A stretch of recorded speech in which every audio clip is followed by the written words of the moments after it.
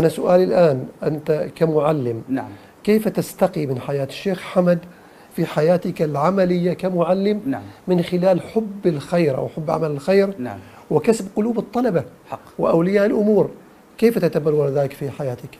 هي هي المهمة ليست بالسهلة. أكيد. ولكن كلما الإنسان حاول أن يقلد من حوله سيصل. نعم. والشيخ رحمة الله عليه مثل ما أشار أخي أسعد القدوة. نعم. ففي جانب التعليم للأجيال الناشئة. نعم. وفي نفس الوقت كسب حب كسب حبهم. نعم. إضافة إلى ذلك تحبيبهم في المواد. جميل. خاصة في المادة.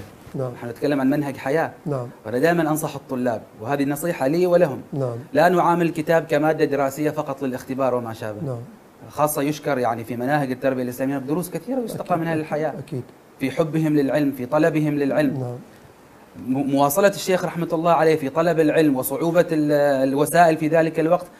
نسأل الله تعالى أن يرزقنا ما رزقهم ولو من قطرة من. بحرهم. ولماذا هذا السؤال؟ يعني قد يكون بعض المعلمين طبعا الغالبية العظمى له كلهم كل احترام والتقدير. نعم. لكن البعض أو القلة القليلة منهم يتعلل بأن أنا فقط يعني كملقن دروس وناقل للمعرفة داخل الحجرة الدراسية. أو خلال مثلا وسائل التواصل الآن مثلا بال, بال الحديثة هذه خلال الجائحة.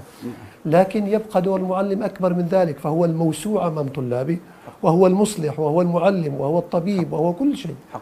توافقني في هذا الشيء؟ أوافق نعم أستاذي. العزيز. تفضل. أنا أكرر يعني إعجابي الشديد بجدي رحمة الله عليه نعم. في تنوع العلوم حوله. نعم. نعم. لم يكتفي بالعلم الشرعي. جميل. كان قاضيا مصلحا نعم. طبيبا مداويا. نعم. مفتيا نعم مطلعا في العلوم الشرعية. جميل.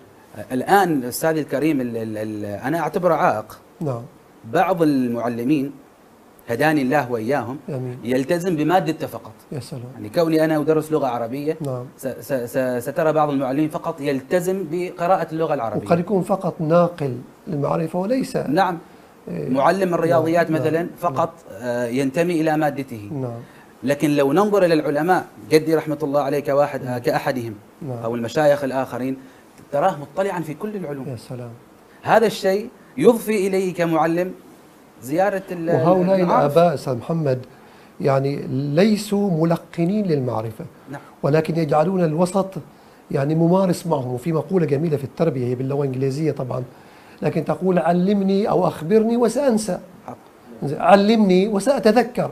لكن اجعلني أمارس وسأتعلم بالفعل هكذا هو المنهج اللي اتبعوه الآباء نعم. والأجداد نعم. الشيخ حمد نعم في نقل المعرفة من خلال الممارسة حق. وهو كان مدرسة يتنقل وخبرة ينقلها نعم